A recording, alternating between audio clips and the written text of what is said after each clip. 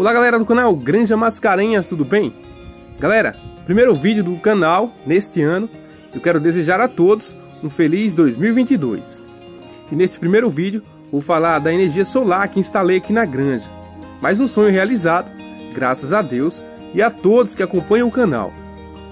Se gostar do vídeo e quiser ver mais como este, deixe sua curtida, inscreva-se no canal se não for inscrito ainda e ative as notificações para continuar recebendo conteúdo ajudar o canal a crescer.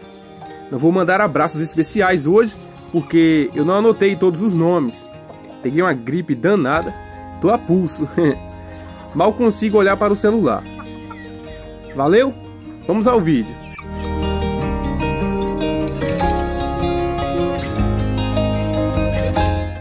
Então, finalmente instalei energia solar.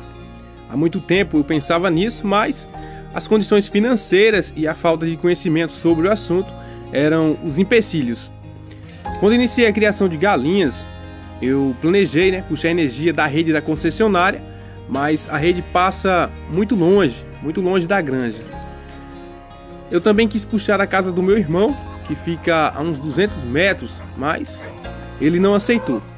Minha mãe, que me incentivou bastante no início da criação, ainda quis me dar uma força né, para comprar os fios na época, mas eu deixei quieto. Bom, o investimento aqui não foi muito alto, mas também não foi nada barato. Olha que comprei equipamentos básicos. Primeiro comprei um inversor de potência de onda senoidal, custou 346 reais, aguenta 1600 watts de pico, mas trabalha bem com 800 watts no máximo. Veio da China, não fui, não fui taxado, né?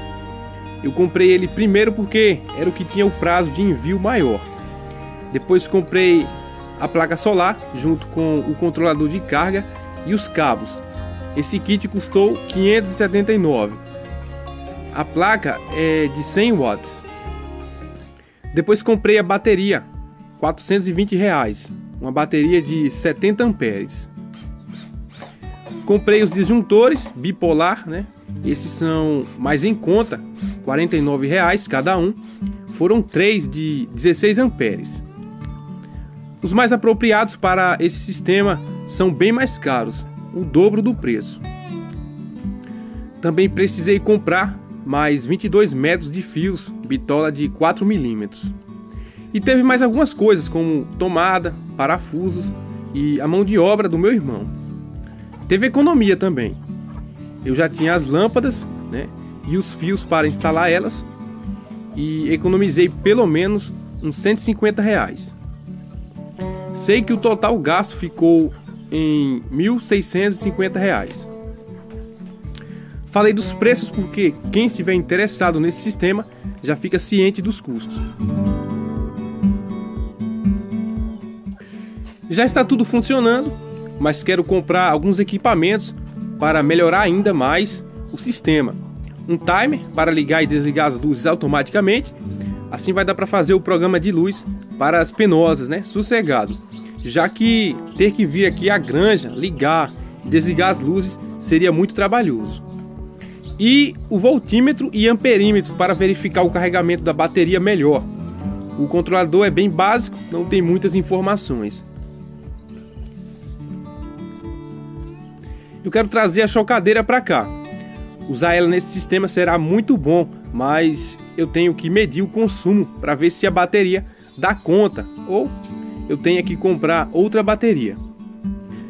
De qualquer forma, tudo que tiver que ser feito aqui, eu passarei para vocês. Para não perder o costume, falar um pouquinho aqui das aves. A produção de ovos segue boa.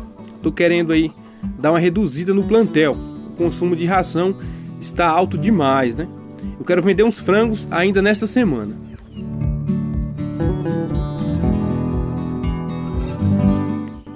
No mais, tudo dentro da normalidade. Vou tentar finalizar as baias de trás do galinheiro. Pelo visto, tem muito trabalho pela frente ainda. então é isso. Me desculpe pela demora para postar vídeos, é que o tempo passa rápido com tanta coisa para fazer. Vou ficando por aqui. Um abraço a todos e fiquem com Deus. Tchau.